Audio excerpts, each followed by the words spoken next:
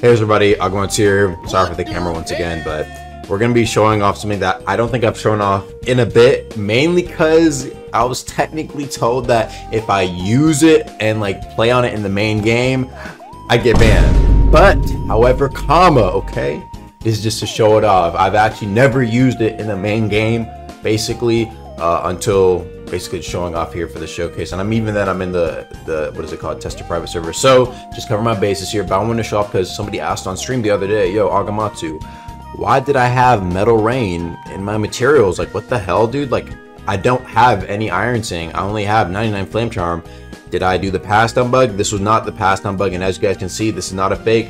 This is the real metal rain right here. Like I could actually use it if I wanted to in fights. Um, basically to give a quick explanation way back. Let's take a look. Whenever Ironsing was dropping guess what? There was a bunch of you know pictures that came out showcasing yo Ironsing's coming out right?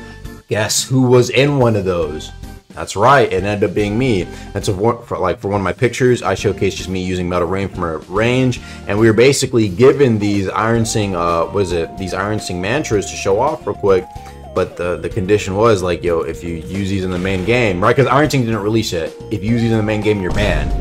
But I think that was in reference to the fact that Ironsing didn't release and he didn't want us to show off the Ironsing mantras in the main shit. So yeah, anyway, uh, I just wanted to just quickly explain it and make a quick buck off of you guys. I appreciate y'all paying for my lunch and dinner today. Um, just keeping a buck, but I'll be catch y'all later. All right, peace.